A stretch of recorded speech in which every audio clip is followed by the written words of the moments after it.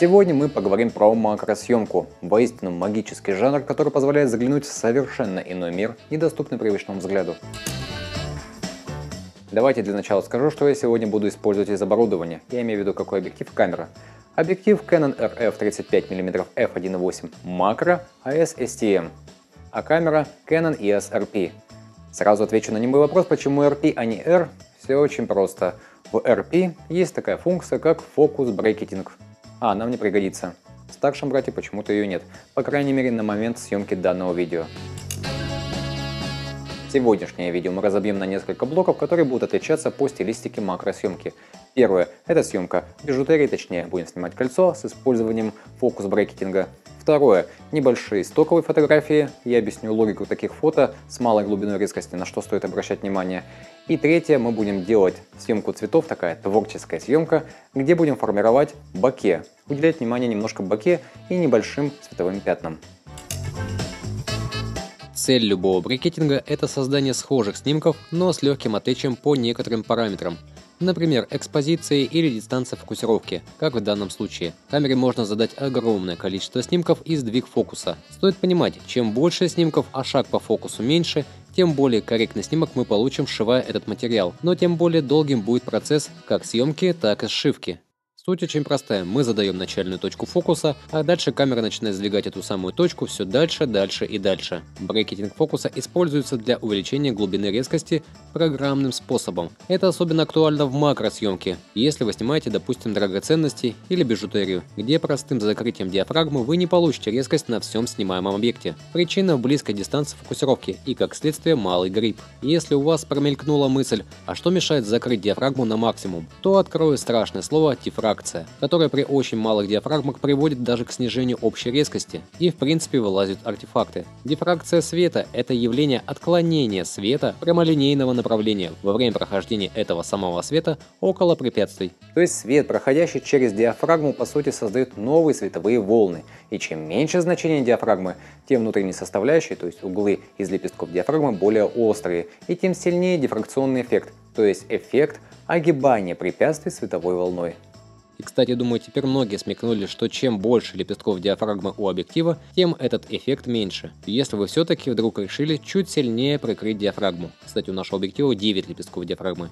Как бы то ни было, мы будем использовать диафрагму 8, а большую глубину резкости сделаем за счет программной шивки множества кадров со смещением фокуса. Для таких целей есть разные программы, допустим Helicon Focus или тот же самый Photoshop. Для начала задаем необходимое количество кадров и шаг сдвига фокуса.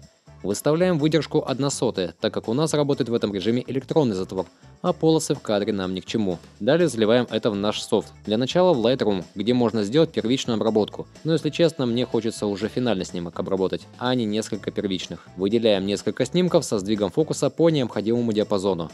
Переносим в Photoshop и на всякий случай можно даже выровнять снимки.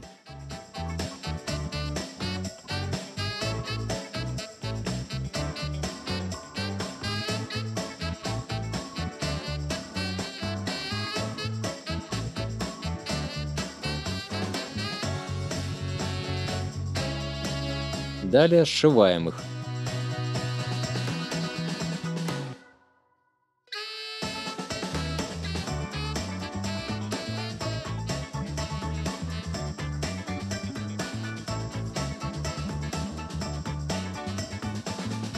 И вот он наш итоговый кадр. Кольцо, конечно, не самое эффектное, но здесь суть показать сам процесс, как делается серия снимков и потом сшивается. И давайте сравним. Вот наши исходные кадры,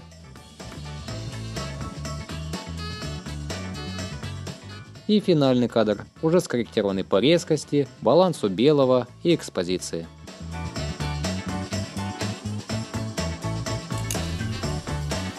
Периодически всплывает вопрос о стоковых фотографиях.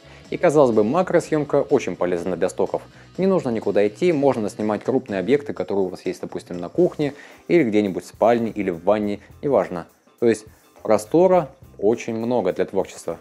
Однако стоковые фотографии работают по одному интересному принципу, точнее они должны соблюдать один принцип. Должно быть место, где у вас размещен главный объект, и место, где потом, постфактум, тот, кто скачает ваши фото, смог разместить какой-то слоган, телефон или объявление. То есть должно быть пустое пространство. Именно так нужно формировать фото. В центр ничего не нужно вставлять. Если, конечно, вы не снимаете монолитную текстуру, которая будет служить просто подложкой или бэкграундом.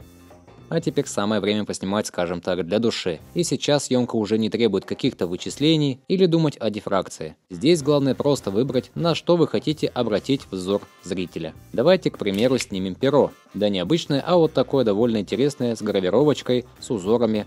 В общем говоря, есть что снимать. Но сразу возникает вопрос, на чем сконцентрировать внимание? Центральная часть? Да нет. Она интересная, но непонятно к чему это. Мы ведь снимаем сейчас для стока. Допустим, скоро 1 сентября, начало школьной поры. И снять перо и залить стоки будет довольно актуально, поэтому сделаем по классике. Снимем острее пера, то есть его наконечник. И разместим в стороне, оставив большую часть для надписи. Допустим, рекламного слогана или телефона магазина. И уже это фото вполне может заинтересовать дизайнеров, что будут делать рекламную обложку, и которые, как правило, ищут фото на стоках. Теперь настало время следующей творческой съемки. Поснимаем цветы. Главный кайф в том, что из-за сильного размытия боке мы не только можем создать объем, но и можем формировать пространство позади главного объекта, находясь при этом даже в замкнутом пространстве, допустим, тесная кухня. И из подручных средств, поскольку весь задний план это образная размытая картинка, дополняем наш передний план, создавая, скажем так, пространство. В боке, то есть размытая картинка позади, также важна, как и основной передний план в резкости. И сейчас я буду в прямом смысле экспериментировать со светом и смотреть на экране Live View, что у меня получается. Для начала положу светильник на пол и накрою синим фильтром, чтобы стена стала не серой, а синей, немного напоминая небо. Теперь позади цветка разместим несколько травинок, которые будут уходить в размытие. А в качестве световых пятен буду использовать два маленьких USB светильника, подключенных к пауэрбанку. Один направим в стену, а второй направим под цветок. Основной свет будет слева и чуть сверху. Я думаю, попытаемся сделать легкий эффект восхода солнца и когда луна уже начинает заходить, но все еще освещает наш цветок. Конечно, на все 100% с первого раза такой эффект вряд ли получится, но попробуем хотя бы приближенный. А теперь давайте сделаем еще один снимок похожий, но чуть ближе, чтобы у нас цветок стал совсем крупным. Ну и конечно можно немного поэкспериментировать со световыми пятнами.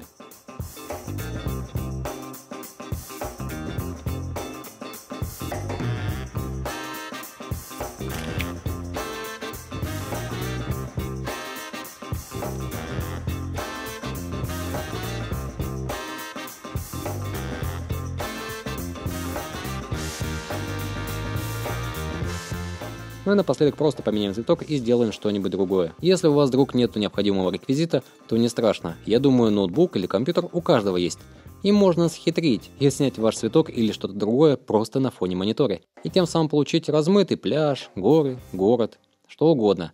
Интернет полон готовых изображений. И что-то мне подсказывает, что мы еще вернемся к такого рода снимков. Так что напишите в комментариях, было бы вам это интересно или нет.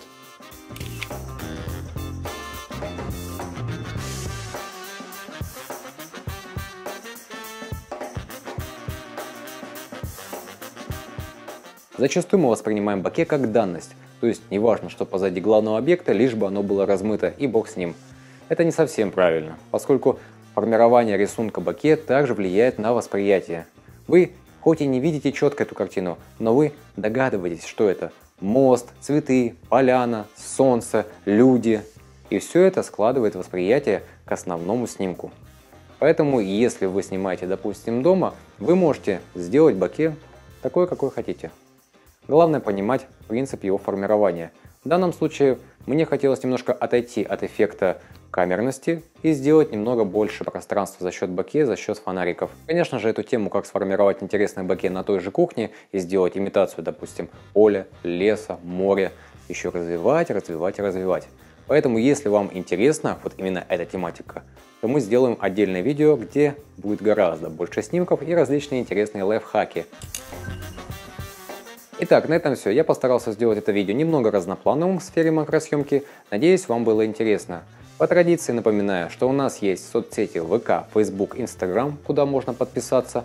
Конечно же, два телеграм-чата, где мы общаемся, обмениваемся опытом и новостями. Так что заходите, подписывайтесь, общайтесь. Подписаться на канал тоже рекомендуется. У нас хороший канал. И колокольчик поможет вам всегда быть в теме новых новостей. Все.